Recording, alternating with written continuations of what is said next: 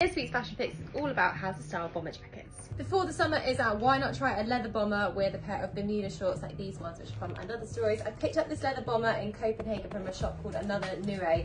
There are lots of amazing leather bombers out there right now. Um, I've just added this graphic t-shirt, which is by Rotate Sunday, just to add a bit of interest to the look, which is quite monochromatic, and then finish things off with these heeled thong toe sandals, and you could also go for a backless flat if you want to wear a flat with the look.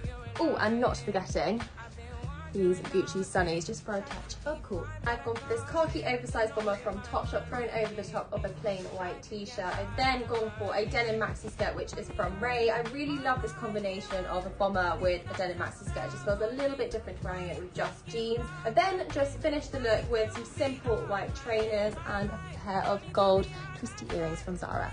Totally obsessed with this white bomber from Zara because it feels a little bit cleaner, and a little bit more polished, which is why it works with a